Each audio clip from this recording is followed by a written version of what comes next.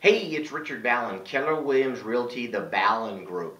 Um, if you are looking to make a change in real estate, just wanting to get to another company that's generating leads for you, uh, doing all your paperwork, doing everything for you, we are the team to at least speak with.